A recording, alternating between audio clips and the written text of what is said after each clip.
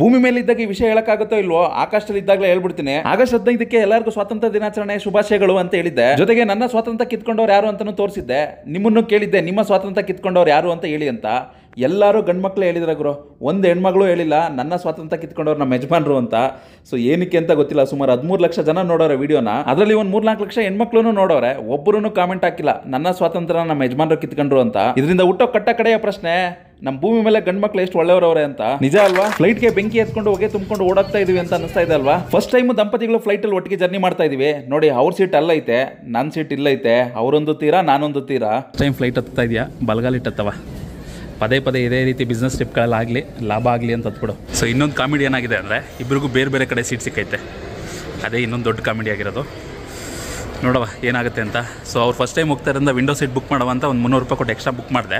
ಅದ್ರ ಪಕ್ಕ ಸೀಟ್ನ ಬುಕ್ ಮಾಡಿದೊಳಗೆ ಅದು ಬ್ಲಾಕ್ ಅಂತ ಬಂದ್ಬಿಟ್ಟೈತೆ ಇವಾಗ ಇಬ್ರಿಗೂ ವಿಂಡೋ ಸೀಟೇ ಸಿಕ್ಕೈತೆ, ಅವ್ಳಿಗೆ ಪೇ ಮಾಡಿರೋ ಸಿಕ್ಕೈತೆ, ನನಗೆ ಫ್ರೀಯಾಗಿ ಸಿಕ್ಕೈತೆ. ಆದರೆ ಬೇರೆ ಬೇರೆ ಕಡೆ ಸಿಕ್ಕೈತೆ. ಮೊದಲು ಏನು ಕತೆ ಮಾಡ್ತಾರೆ ಅಂತ ಗೊತ್ತಿಲ್ಲ. ಫಸ್ಟ್ ಟೈಮ್ ಹತ್ತದಾರದಲ್ವ ಕಿರಿಚ್ ಕಿಚ್ಕೊಬಿಟ್ರೆ ಆಮೇಲೆ ಸೇಫ್ ನಿಕಾಲಾಗ್ಬಿಡುತ್ತೆ ಹುಷಾರಾಗಿ ಕರ್ಕೋಬೇಕು. ನೋಡಿ ಫ್ರೆಂಡ್ಸ್ ನಾನು ನನ್ನ ವೈಫ್ ಫ್ಲೈಟಲ್ಲಿ ಜರ್ನಿ ಮಾಡ್ತಾ ಇದೀವಿ ಅಂತ ತೋರ್ಸಕ್ಕಲ್ಲ ಈ ವಿಡಿಯೋ ಸಾವಿರ ಕಿಲೋಮೀಟರ್ ಇರಲಿ, ಎರಡು ಸಾವಿರ ಕಿಲೋಮೀಟರ್ ಇರಲಿ, ನಾವಿಬ್ರು ಜನರಲ್ ಬೋಗಿಲ್ ಕುತ್ಕೊಂಡ್ಬೇಕಾದ್ರೆ ಟ್ರೈನಲ್ಲಿ ಟ್ರಾವೆಲ್ ಮಾಡ್ಬಿಡ್ತೀವಿ. ಒಂದು ಮುಖ್ಯವಾದ ರೀಸನ್ ಇಂದ ತುಂಬಾ ಕಡಿಮೆ ಟೈಮಲ್ಲಿ ಒಂದು ನಾಲ್ಕು ಸಾವಿರ ಕಿಲೋಮೀಟರ್ ಟ್ರಾವೆಲ್ ಮಾಡಬೇಕಿತ್ತು. ಆ ರೀಸನ್ ನಿಮ್ಗೆ ಹೇಳಿದ್ರು ಅರ್ಥ ಆಗುತ್ತೆ. ಮಂಡ್ಯ ದುಡ್ಡಿಗೆ ಸಕ್ಕ ಸ್ಟ್ರಾಂಗ್ ಇವತ್ತು ಫ್ಲೈಟಲ್ಲಿ ಒಂದು ಕತೆ ಆಗ್ಬಿಡುತ್ತೆ, ಬಾಯ್ ಬಡ್ಕೊಬಿಡ್ತಾರೆ ಅಂತ ಅನ್ಕೊಂಡಿದ್ದೆ. ಸದ್ಯ ಏನೂ ಆಗಲಿಲ್ಲ. ನಾನು ಫ್ಲೈಟ್ ಹತ್ತಕ್ಕಿಂತ ಮುಂಚೆನೇ ಏರ್ಪೋರ್ಟಲ್ಲೇ ಒಂದು ಎರಡು ಮೂರು ವಿಡಿಯೋ ಮಾಡಿದೆ. ಏನಕ್ಕೆ ಅಂತ ನೀವು ಪ್ರೈಸ್ಗಳೆಲ್ಲ ನೋಡಿದಾಗ ಗೊತ್ತಾಗ್ಬಿಡುತ್ತೆ. ಫ್ಲೈಟಿಗೆ ಕಾಲ್ ಮಾಡಿದ್ದಾರೆ. ಎದ್ರುಕೋಬೇಡಕ್ಕೆ ನಮ್ಮ ಫಸ್ಟ್ ಫ್ಲೈಟ್ ಅಂತ ನಡಕ್ತಾ ಇದೆಯಾ? ನಡಕ್ತವ್ರೆ ಅವಾಗಲೇ ಎದ್ಕೊಳ್ಳೋದೆಲ್ಲ ಏನಿಲ್ಲ. ಸ್ಟಾರ್ಟಿಂಗ್ ಒಂದು ಸಲ ಎರಡು ಸಲ ಒಂದು ಸ್ವಲ್ಪ ಮಜಾ ಬರುತ್ತೆ. ಆಮೇಲೆ ಯಾಕಪ್ಪ ಬಂದು ಅನ್ಸ್ಬಿಡುತ್ತೆ ಟೈಮೇ ಪಾಸ್ ಆಗಲ್ಲ. ಸೊ ಎದ್ರುಕೋಬೇಡ. ಇರು ನೀನು ಇನ್ನೂ ಕರೆದಿಲ್ಲ. ಹೆಂಗೆ ಕಾಣಿಸ್ತದೆ? ಆಕಾಶದಲ್ಲಿ ನೋಡಿದ ಫ್ಲೈಟು ಅದು ಸೈಜ್ ಮೇಲೆ ಡಿಪೆಂಡ್ ಆಗುತ್ತೆ. ಒಂದೊಂದು ಸೈಜು ಒಂದೊಂದು. ನೂರೆಂಬತ್ತು ಇನ್ನೂರು ಜನನೂ ಇರುತ್ತೆ. ಬರೀ ಇಪ್ಪತ್ತು ಜನ ಮೂವತ್ತು ಜನದ್ದು ಇರುತ್ತೆ ಐದಾರು ಜನದ್ದು ಇರುತ್ತೆ ಹಾಗೆ. ಇದೆಲ್ಲ ಒಂದು ಇನ್ನೂರು ಅದೆಲ್ಲ ಫುಡ್ ಲೋಡ್ ಮಾಡೋಕ್ಕೆ ಲಗೇಜ್ಗಳು ಲೋಡ್ ಮಾಡೋಕ್ಕೆ ಅದೆಲ್ಲ ಡಿಫ್ರೆಂಟಾಗಿ ಕಾಣಿಸ್ತೈತೆ ಫಸ್ಟ್ ಟೈಮ್ ನೋಡ್ಬೇಕಾದ್ರೆ ಒಂಥರ ಎಕ್ಸೈಟ್ ಆಗಿರುತ್ತಲ್ವ? ಹಾಂ ಒಳಗಡೆ ನಮ್ಮ ಸೊ ನೋಡಿ ಎಷ್ಟೊಂದು ಫ್ಲೈಟ್ಗಳವೆ ಹ್ಞೂ ಆಕಾಶದಲ್ಲಿ ಅಕ್ಕಿ ಥರ ಹಾರೋದು ನೋಡಿದ್ಯಾ? ಡೈರೆಕ್ಟಾಗಿ ತೋರಿಸಿ ನೋಡು. ನಿಮ್ಮ ಅಪ್ಪ ಅಮ್ಮನ ತೋರಿಸಿಲ್ಲ. ನಾನು ತೋರಿಸಿ ಏನೋ ಭೀಮ್ ವ್ಯವಸ್ಥೆ ಕಾಲು ತೊಳಿಲಿಲ್ಲ ನನಗೆ ಅಷ್ಟೇ. ಹಂಗೂ ತೋರಿಸಿ ನೋಡು ನೋಡಲ್ಲಿ ಫ್ಲೈಟ್ ಬರ್ತಾ.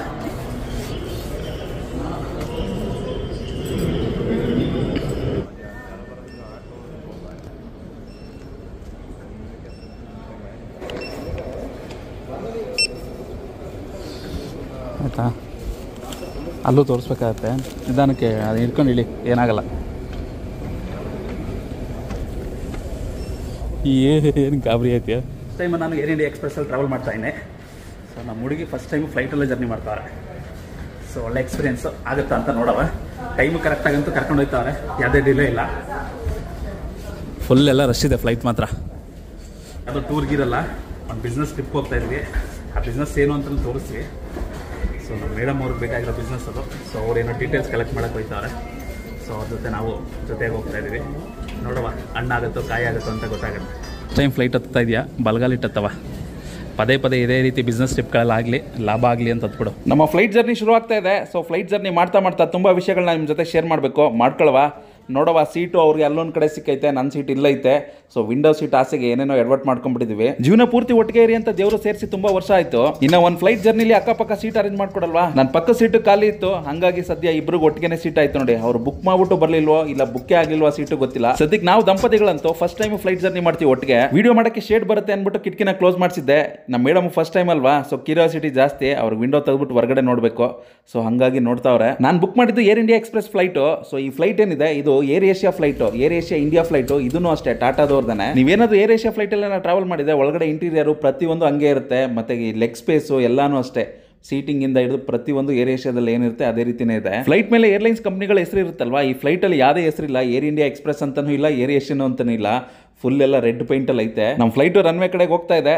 ನೋಡಿ ಹೆಸರೇನಾರ ಇತ್ತು ಅಂದ್ರೆ ಮುಂದೆ ಕಾಣಿಸ್ತಾ ಇದೆ ಅಲ್ವಾ? ಏರ್ ಇಂಡಿಯಾ ಅಂತ ಇರಬೇಕು ಇಲ್ಲ, ಏರ್ ಇಂಡಿಯಾ ಎಕ್ಸ್ಪ್ರೆಸ್ ಅಂತನಾರ ಇರಬೇಕು. ಈ ಫ್ಲೈಟ್ ಅಲ್ಲಿ ಹೆಸರೇ ಇಲ್ಲ. ಹೆಸರಿಂದ ಏನಾಗಬೇಕಿತ್ತು? ನಾವು ಹೋಗೋ ಜಾಗ ಜೋಪಾನೋ ಕರ್ಕೊಂಡು ಹೋಗ್ಬಿಟ್ರೆ ಸಾಕು. ಈ ಏರ್ಲೈನ್ಸ್ ಹೆಸರು ಮಾತ್ರ ಏರ್ ಇಂಡಿಯಾ ಎಕ್ಸ್ಪ್ರೆಸ್. ಆದರೆ ಇದೊಂಥರ ಪಾಯಿಂಟ್ ಟು ಪಾಯಿಂಟ್ ಬಸ್ ಇದ್ದಂಗೆ. ಈ ಫ್ಲೈಟ್ ಅಲ್ಲಿ ಎರಡು ರಾಜ್ಯಕ್ಕೆ ಹೋಗೋ ಪ್ಯಾಸೆಂಜರ್ಗಳವ್ರೆ ಬೆಂಗಳೂರಿಂದ ಹೊರಡುವ ಈ ಫ್ಲೈಟ್ ಫಸ್ಟ್ ಗುಜರಾತ್ಗೆ ಹೋಗುತ್ತೆ. ಗುಜರಾತ್ ಇಂದ ಡೆಲ್ಲಿಗೆ ಹೋಗುತ್ತೆ. ಡೆಲ್ಲಿಗೆ ಏನು ಹೋಗಬೇಕಾಗಿರೋ ಪ್ಯಾಸೆಂಜರ್ ಏನಿರ್ತಾರೆ ಮೊದಲು ಗುಜರಾತ್ ಅಲ್ಲಿ ಫ್ಲೈಟ್ ಲ್ಯಾಂಡ್ ಆಯ್ತು ಅಂದ್ರೆ ಡೆಲ್ಲಿಗೆ ಹೋಗೋ ಪ್ಯಾಸೆಂಜರ್ ಒಳಗಡೆ ಇರ್ತಾರೆ. ಗುಜರಾತ್ ಅಲ್ಲಿ ಯಾರು ಇಳ್ಕೋಬೇಕು ಇಳ್ಕೊಂಡ್ಮೇಲೆ ಗುಜರಾತ್ ಇಂದ ಮತ್ತೆ ಡೆಲ್ಲಿಗೆ ಹೋಗೋರು ಯಾರು ಇರ್ತಾರೆ?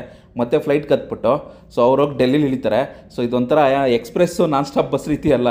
So point to point bus ರೀತಿ. ನಮ್ಮ K S R T C ಬಸ್ಸಲ್ಲಿ ಅಶ್ವಮೇಧ ಅಂತ ಬಿಟ್ಟಿದಾರಲ್ಲ ಪಾಯಿಂಟ್ ಟು ಪಾಯಿಂಟ್ ಬಸ್ಸು ಇದು ಆಲ್ಮೋಸ್ಟ್ ಅದೇ ರೀತಿನೇ ವರ್ಕ್ ಆಗುತ್ತೆ. ಡೆಲ್ಲಿಗೆ ಹೋಗೋ ಪ್ಯಾಸೆಂಜರ್ ಅಲ್ಲ ಫ್ಲೈಟ್ ಒಳಗಡೆಯಿಂದಾನೆ ಗುಜರಾತ್ ನೋಡ್ಕೊಬೋದು. ಡೈರೆಕ್ಟ್ ಫ್ಲೈಟ್ ಗಿಂತ ಈ ತರ ಫ್ಲೈಟ್ ಅಲ್ಲಿ ಆಯ್ತು ಅಂದ್ರೆ ಸ್ವಲ್ಪ ಟಿಕೆಟ್ ರೈಟ್ ಉಳಿಸಬಹುದು ಡೆಲ್ಲಿಗೆ ಹೋಗೋ ಪ್ಯಾಸೆಂಜರ್ ನಿಮ್ಮ ಹತ್ರ ಟೈಮ್ ಇದೆ ಟಿಕೆಟ್ ಪ್ರೈಸ್ ಕಡಿಮೆ ಆಗಬೇಕು ಅಂತಂದ್ರೆ ಸೊ ಈ ರೀತಿ ಫ್ಲೈಟ್ ಗಳನ್ನ ಸೆಲೆಕ್ಟ್ ಮಾಡ್ಕೊಂಡ್ರೆ ಸ್ವಲ್ಪ ಪ್ರೈಸ್ ಕಡಿಮೆ ಸಿಗುತ್ತೆ. ತುಂಬಾ ಎಲ್ಲ ಡಿಫರೆನ್ಸ್ ಇಲ್ಲ ಅಂದ್ರೆ ಒಂದು ರೇಂಜ್ ಅಂತೂ ಕಡಿಮೆ ಸಿಗುತ್ತೆ. ಇಲ್ಲ ಲೋ ಬಜೆಟ್ ಫ್ಲೈಟ್ ಟಿಕೆಟ್ ಹೆಂಗ್ ಬುಕ್ ಮಾಡಬೇಕು ಅಂತ ಆಲ್ರೆಡಿ ಇನ್ಫಾರ್ಮೇಶನ್ ಕೊಟ್ಟಿದ್ನಲ್ಲ ಸೊ ಆ ರೀತಿ ಬೇಕಾದ್ರೆ ನೀವು ಮಾಡ್ಕೊಬೋದು. ಇವಾಗ ಅಕ್ಕನ ಎಕ್ಸ್ಪ್ರೆಸ್ ಅನ್ನು ಭಯ ಭಯ ಭಯ ಭಯ ಪಡಲ್ವಾ ಕೈ ಹಿಡ್ಕೊಬಿಟ್ಟಿದ್ಯಾ ಮತ್ತೆ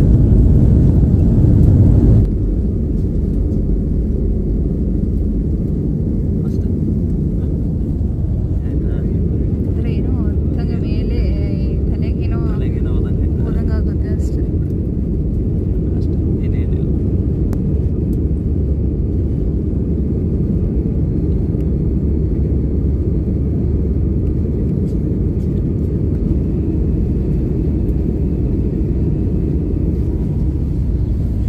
ಇಷ್ಟೇ ಫ್ಲೈಟ್ ಕತೆ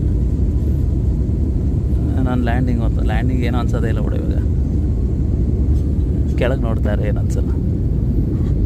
ಮೋಡಗಳ ಮಧ್ಯೆ ಹೋಗ್ತಲ್ಲ ಸೊ ಸ್ವಲ್ಪ ಅದ ಟರ್ಬಲೆನ್ಸ್ ಅಂತಾರೆ ಅದಕ್ಕೆ?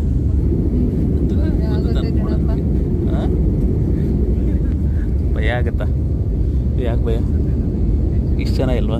ಸಾವಿರಾರು ಕಿಲೋಮೀಟರ್ ಬೇಕಾದ್ರೆ ಜನರಲ್ ಬಗ್ಗೆ ಕುತ್ಕೊಂಡು ಟ್ರಾವೆಲ್ ಮಾಡೋರು ಫ್ಲೈಟ್ ಅಲ್ಲಿ ಯಾಕೆ ಹೋಗ್ತಾ ಇದೀವಿ ದಂಪತಿಗಳು ಅಂತಂದ್ರೆ ಅಪ್ ಅಂಡ್ ಡೌನ್ ನಾಲ್ಕು ಸಾವಿರ ಕಿಲೋಮೀಟರ್ನ ಎರಡೇ ದಿವಸದಲ್ಲಿ ಕಂಪ್ಲೀಟ್ ಮಾಡಬೇಕಿತ್ತು. ಏನಕ್ಕೆ ಅಂದ್ರೆ ಮನೇಲಿ ಚಿಕ್ಕ ಪಾಪು ಬಿಟ್ಬಿಟ್ಟು ಬಂದಿದ್ದೀವಿ ಸೊ ತುಂಬಾ ದಿವಸ ಎಲ್ಲ ಟ್ರಾವೆಲ್ ಮಾಡೋಕ್ಕಾಗಲ್ಲ. ಟ್ರೈನಲ್ಲಿ ಆಯಿತು ಅಂದರೆ ಒಂದು ನಾಲ್ಕೈದು ದಿವಸ ಆಗ್ಬಿಡುತ್ತೆ ಅಪ್ ಅಂಡ್ ಡೌನ್ ನಾವು ಹೋಗಿ ಬರೋದ್ರೊಳಗೆ. ಸೊ ಹಾಗಾಗಿ ಫ್ಲೈಟಲ್ಲಿ ಜರ್ನಿ ಮಾಡ್ತಾ ಇದೀವಿ ಅಷ್ಟೇ. ನಾನು ಮೊದಲು ಹೇಳಿದಂಗೆ ನಮ್ಮ ಇಬ್ಬರದ್ದು ಇದು ಟೂರ್ ರೀತಿ ಎಲ್ಲ ಏನಿಲ್ಲ. ಮಗುನ ಮನೇಲಿ ಬಿಟ್ಬಿಟ್ಟು ಯಾವ ಟೂರ್ ಮಾಡ್ತಿದ್ವಿ. ಸುಮಾರು ಒಂದು ಆರು ತಿಂಗಳಿಂದ ಒಂದು ಬಿಸ್ನೆಸ್ ಬಗ್ಗೆ ಎನ್ಕ್ವೈರಿ ಮಾಡೋಕ್ಕೆ ತಿಳ್ಕೊಳ್ಳೋಕ್ಕೆ ಒಂದು ಅವಕಾಶ ಸಿಕ್ಕಿತ್ತು.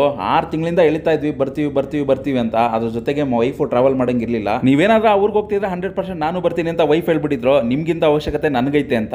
ಸೊ ಹಾಗಾಗಿ ಇಂತ ಮುಂದೆ ಮುಂದೆ ಹೋಗ್ತಾ ಇತ್ತು. ಸೊ ಇವಾಗ ತಡಿಬಾರ್ದು ಅಂದ್ಬಿಟ್ಟು ಒಂದು ತ್ರೀ ಫೋರ್ ಡೇಸಿಂದ ಫ್ಲೈಟ್ನ ಬುಕ್ ಮಾಡ್ಬಿಟ್ಟು ಸೊ ಟ್ರಾವೆಲ್ ಮಾಡ್ತಾ ಇದ್ವಿ. ಎರಡು ದಿವಸದಲ್ಲಿ ಹೋಗಿ ಏನೇನು ಬೇಕು ಇನ್ಫಾರ್ಮೇಷನ್ ತೊಗೊಂಡು, ನಾವು ಇನ್ಫಾರ್ಮೇಷನ್ ತಗೊಳ್ಳೋದ್ರ ಜೊತೆಗೆ ನಿಮ್ಗೂ ಶೇರ್ ಮಾಡ್ತೀವಿ. ಇವಾಗಲೇ ಹೇಳ್ತೀನಿ ತಿಳ್ಕೊಬಿಡಿ ಯಾವ ರೇಂಜ್ಗೆ ಇನ್ಫಾರ್ಮೇಷನ್ ಕೊಡ್ತೀವಿ ಅಂದ್ರೆ ಒಂದು ಬಿಸ್ನೆಸ್ನೇ ಶುರು ಮಾಡ್ಬಿಡ್ಬೋದು ನೀವು. ಆ ರೇಂಜ್ಗೆ ಇನ್ಫಾರ್ಮೇಷನ್ ಅಂತ ಕೊಟ್ಟೆ ಕೊಡ್ತೀವಿ. ನೋಡೋಣ, ಇವಾಗಲೇ ಅತಿಹಾಸ ಇಟ್ಕೋಬಾರ್ದು ಅಣ್ಣೋ ಕಾಯೋ ಅಲ್ಲಿಗೆ ಹೋದಾಗಲೇ ಗೊತ್ತಾಗುತ್ತೆ. ನಾನು ಫ್ಲೈಟ್ ಹತ್ತಕ್ಕಿಂತ ಮುಂಚೆನೇ ಏರ್ಪೋರ್ಟಲ್ಲೇ ಒಂದು ಎರಡು, ಮೂರು ವೀಡಿಯೋ ಮಾಡಿದೆ. ಏನಕ್ಕೆ ಅಂತ, ನೀವು ಈ ಪ್ರೈಸ್ಗಳೆಲ್ಲ ನೋಡಿದಾಗ ಗೊತ್ತಾಗ್ಬಿಡುತ್ತೆ. ನೋಡಿ ಹಾಟ್ ಮೀಲ್ಗೆ ಆರ್ನೂರು ರೂಪಾಯಿ ಅಂತೆ. ಇಲ್ಲಿ ಏನ್ ಕೊಟ್ಟಿದ್ರೆ ಅದು ಒಂದು ಪ್ಲೇಟ್ಗೆ ಆರ್ನೂರು ರೂಪಾಯಿ. ಮೂವತ್ತೈದು ಸಾವಿರ ಅಡಿ ಮೇಲೆ ನಿಮ್ಗೆ ಏನಾರು ಹೊಟ್ಟೆ ಇದೆ ಏನಾರು ತಿನ್ಬೇಕು ಅಂದ್ರೆ ಇಷ್ಟೊಂದೆಲ್ಲ ಪೇ ಮಾಡಬೇಕಾಗುತ್ತೆ. ಹೆವಿ ಕಾಸ್ಟ್ಲಿ ಇರುತ್ತೆ. ಏರ್ಪೋರ್ಟ್ ಲಾಂಜಲ್ಲಿ ಫ್ರೀ ಆಗಿ ಫೈವ್ ಸ್ಟಾರ್ ಊಟ ಕೊಡ್ತಾರೆ. ಇದಕ್ಕೆ ಯಾಕೆ ಬಂದು ಇಷ್ಟೊಂದೆಲ್ಲ ಖರ್ಚು ಮಾಡಬೇಕು? ಫುಡ್ ಅಷ್ಟೇ, ಅಷ್ಟೊಂದೆಲ್ಲ ಏನ್ ಚೆನ್ನಾಗಿರಲ್ಲ. ಒಂದ್ ಎಂಟತ್ ಪೀಸ್ ಗೋಡಂಬಿ ಅಥವಾ ಬಾದಾಮಿ ತಿನ್ಬೇಕು ಅಂದ್ರೆ ಇನ್ನೂರು ರೂಪಾಯಿ ಪೇ ಮಾಡಬೇಕಾಗುತ್ತೆ. ಭೂಮಿ ಮೇಲೆ ಸಿಗೋ ಹತ್ತು ರೂಪಾಯಿ ನೂಡಲ್ಸ್ ಪ್ಯಾಕೆಟ್ ಆಕಾಶದಲ್ಲಿ ಮುನ್ನೂರು ರೂಪಾಯಿ ಅಂತೆ. ಈ ಕಪ್ ನೂಡಲ್ಸ್ ಎಲ್ಲ ಏನೈತೆ? ಹತ್ತು ರೂಪಾಯಿ ನೂಡಲ್ಸ್ ಕ್ವಾಂಟಿಟಿ ಎಲ್ಲ ಇರುತ್ತೆ. ಏನ್ ಬಿಸಿನೀರ್ ಹಾಕ್ಬಿಟ್ಟು ಒಂದ್ ಹತ್ತು ನಿಮಿಷ ಬಿಟ್ಬಿಟ್ಟು ತಿನ್ನಿ ಅಂತ ಕೊಡ್ತಾರೆ. ಅದಕ್ಕೆ ಮುನ್ನೂರು ರೂಪಾಯಿ. ಇದೆಲ್ಲ ಹೊಟ್ಟೆ ಎಲ್ಲ ಚಾನ್ಸ್ ಎಲ್ಲ ತುಂಬಕ್ ನಮಗೆ. ಮಕ್ಳ ಹೊಟ್ಟೆಗಳೇ ತುಂಬುತ್ತೋ ಇಲ್ವೋ ಅಂತಾನೆ ಡೌಟ್ ಬಂದ್ಬಿಡುತ್ತೆ.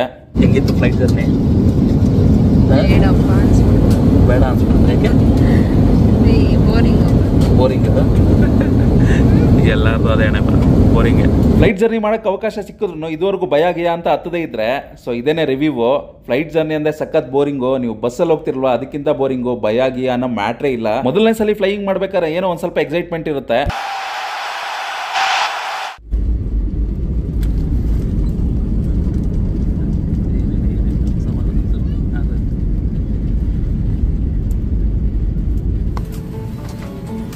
ಫ್ಲೈಟ್ಗೆ ಬೆಂಕಿ ಎತ್ಕೊಂಡು ಹೋಗಿ ತುಂಬಿಕೊಂಡು ಓಡಾಡ್ತಾ ಇದೀವಿ ಅಂತ ಅನಿಸ್ತಾ ಇದೆ ಅಲ್ವಾ? ಆ ರೀತಿ ಎಲ್ಲ ಏನಿಲ್ಲ ಜಸ್ಟ್ ಎ ಸಿ ಮತ್ತೆ ರೂಮ್ ಫ್ರೆಶ್ನರ್ ಆಗ್ತಾ ಇರಷ್ಟೇ ಮಾ ಫಸ್ಟ್ ಅಲ್ಲೇ ಫ್ಲೈಟ್ ಎಕ್ಸ್ಪೀರಿಯನ್ಸ್ ಒಂಚೂರು ಚೆನ್ನಾಗಿಲ್ಲ. ಬೋರ್ ಆಗ್ಬಿಡುತ್ತಲ್ವಾ? ಸೊ ಸೊ ಅಷ್ಟೇ ಫ್ಲೈಟ್ ಎಕ್ಸ್ಪೀರಿಯನ್ಸು ಸೊ ಇನ್ನೂ ಹತ್ತಿಲ್ವಲ್ಲ ಹತ್ತಿಲ್ವಲ್ಲ ಅನ್ನೋ ಫೀಲಿಂಗ್ ಇರುತ್ತೆ. ಹತ್ತದ್ಮೇಲೆ ಬೋರ್ ಆಗ್ಬಿಡುತ್ತೆ. ಬೇಡ ಕಣಪ್ಪ ಅಂತ. ಸದ್ಯಕ್ಕೆ ಎಲ್ಲಿ ಬಂದಿದ್ದೀವಿ ಅಂದರೆ ಗುಜರಾತ್ನ ಸೂರತ್ ಬಂದಿದ್ವಿ ಸೊ ಸೂರತ್ತಲ್ಲಿ ಏನು ಸ್ಪೆಷಲ್ ಅಂದರೆ ಡೈಮಂಡು ಸೊ ನೋಡವ ಎಷ್ಟೆಷ್ಟೆಲ್ಲ ತುಂಬ್ಕೊಂಡು ಹೋಗ್ಬೋದು ಅಂತ. ಸೊ ಯಾವ ಬಿಸ್ನೆಸ್ಸು ಏನು ಅಂತಲೂ ಹೇಳ್ತೀವಿ. ಅದು ಮುಂದೆ ಮುಂದೆ ಹೋಗ್ತಾ ಹೋಗ್ತಾ. ಯಾವುದೋ ಒಂದು ಎನ್ಕ್ವೈರಿ ಸಿಕ್ತು ಅಂತ ಬಂದ್ಬಿಟ್ವಿ. ರೂಮು ಗೀಮು ಎಲ್ಲ ಏನು ಬುಕ್ ಮಾಡಿಲ್ಲ. ಸದ್ಯಕ್ಕೆ ಏರ್ಪೋರ್ಟಲ್ಲೇ ಇದ್ದೀವಿ ಸೊ ಸದ್ಯಕ್ಕೆ ಇಲ್ಲಿ ಬುಕ್ ಮಾಡ್ಕೊಂಬಿಟ್ಟು ರೂಮ್ನ ಸೊ ಅಲ್ಲಿಗೆ ಟ್ಯಾಕ್ಸಿನ ಇಲ್ಲ ಬಸ್ಸು ಗಿಸ್ಸು ಆಟೋ ಏನು ಸಿಗುತ್ತೆ ನೋಡಿಕೊಂಡು ಹೋಗ್ಬೇಕು. ಊರಿಂದ ಸೂರತ್ ಊರಿಂದ ಇದು ಎಷ್ಟು ದೂರ ಐತೆ ಏರ್ಪೋರ್ಟ್ ಅಂತಲೂ ಗೊತ್ತಿಲ್ಲ. ಏನು ಚೆಕ್ ಮಾಡಿಲ್ಲ. ಎಲ್ಲ ಇವಾಗ ಚೆಕ್ ಮಾಡ್ಕೊಂಡು. ಸೊ ಹೋಗವ. ಸದ್ಯಕ್ಕೆ ಸೇಫಾಗಿ ಇಲ್ಲಿವರೆಗೂ ಬಂದಿದ್ದೀವಿ ಬೆಳಗ್ಗೆ ಜರ್ನಿ ಶುರು ಮಾಡಿದ್ದು ಏಳುವರೆಗೆ. ಇವಾಗ ಟೈಮು ನಾಲ್ಕು ನಲವತ್ತಾಯ್ತಾ ಬಂತು.